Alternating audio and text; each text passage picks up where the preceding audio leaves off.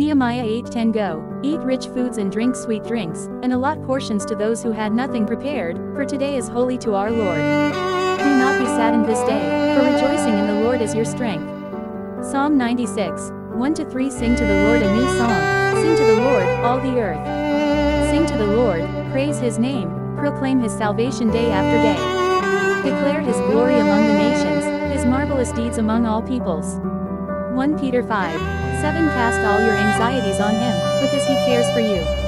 Proverbs 29. 25 Fear of man will prove to be a snare, but whoever trusts in the Lord is kept safe.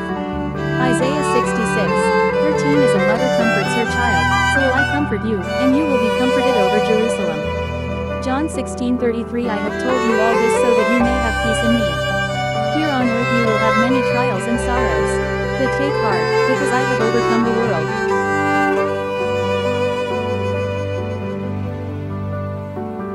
Bye.